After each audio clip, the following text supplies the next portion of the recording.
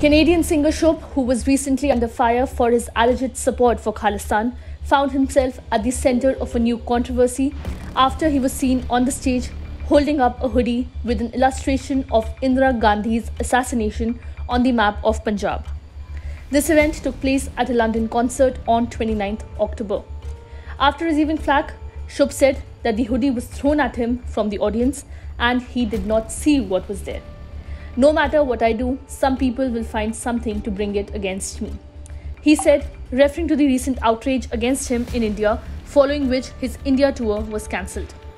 A lot of clothes, jewelry, and phones were thrown at me by the audience at my first show in London. I was there to perform, not to see what got thrown at me and what is on it, the singer said. Certain social media users have suggested that the contentious hoodie originated from Akal Clothing, which seemingly exploited Shubh's concert in London to disseminate an anti India message.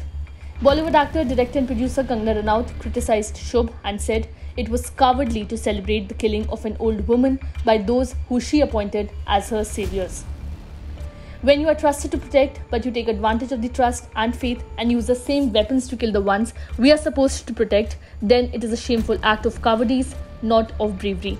One must be ashamed of such a cowardly attack on an elderly lady who was disarmed and unaware. A lady who was the chosen leader of a democracy. Nothing to glorify here, Shubhamji. Kangana said in a post on X. Amid the India Canada diplomatic row following Canadian Prime Minister Justin Trudeau's allegation that India had a role in killing of Hardeep Singh Nijjar, an old post of the singer surfaced. In the post, Shubh shared a distorted map of India without Jammu and Kashmir, Punjab, and the northeastern states. Pray for Punjab, the post said.